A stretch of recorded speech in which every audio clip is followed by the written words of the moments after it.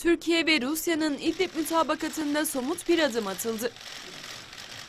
Ulusal kanalın edindiği bilgilere göre Türkiye'ye müzayir Ulusal Özgürleştirme Cephesi ağır silahlarını İdlib'deki cephe hattından çekmeye başladı. İdlib'in yaklaşık %60'ını kontrol eden El-Kaide'nin Suriye kolu olan HTŞ ise hala bölgede. Anlaşmaya göre HTŞ'nin silahlardan arındırılmış bölgeden tamamen çıkarılması öngörülüyor. HTŞ içindeki silah bırakmaya yatkın gruplarla görüşmeler sürüyor. İdlib'in güneyindeki bazı bölgeleri kontrol eden Ceysel ise ağır silahlarını henüz bırakmadı. Türkiye ve Rusya Soçi'de ateşkesin korunması ve sağlamlaştırılması için ek önlemler üzerinde anlaşmıştı. Mutabakat kapsamında 15 Ekim'e kadar 15 ila 20 kilometrelik bir hatta silahsızlanma bölgesinin oluşturulması hedefleniyor.